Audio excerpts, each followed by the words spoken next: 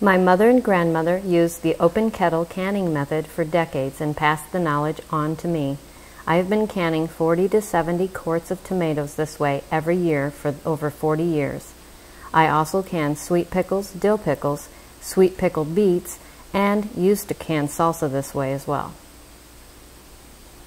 Open kettle canning and water bath canning can be used for high acid content fruits, vegetables, and that sort of thing, like tomatoes. Um, it's good if you have a pH test strip, and they suggest you can buy at any local science supply store.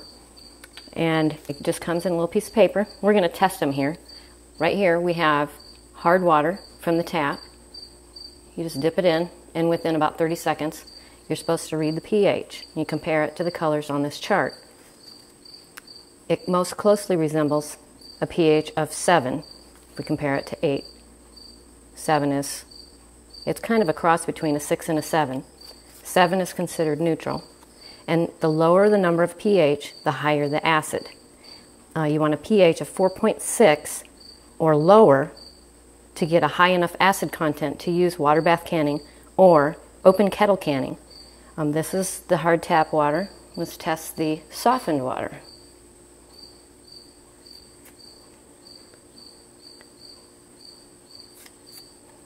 Softened water. It looks like it's a little closer to neutral than the hard water was. It's more of a 7. This is apple cider vinegar.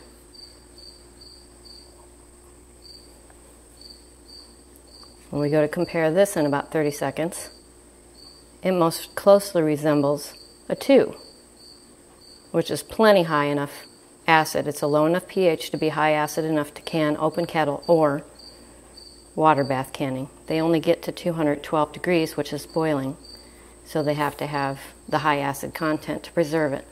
Now, this is a mixture of apple cider vinegar and softened water, half and half, which generally pickles would be about that. That's what I do my pickles at. Some pickles are a little bit less acidic than the way I do it. I do half and half. And if we look and compare, it looks like it's most closely related to the 4. And again, it has to be a 4.6 or lower on the pH scale. It's a little bit, maybe in between 3 and 4. And let's try some salsa that we canned. Well, actually, we canned the tomatoes, and then we used the tomatoes to make salsa afterwards. Let's see where that lies.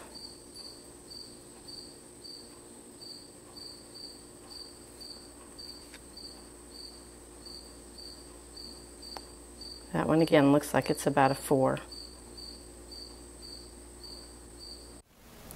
Botulism is an illness caused by a bacteria found naturally in soil that can grow in low acid foods without the presence of air.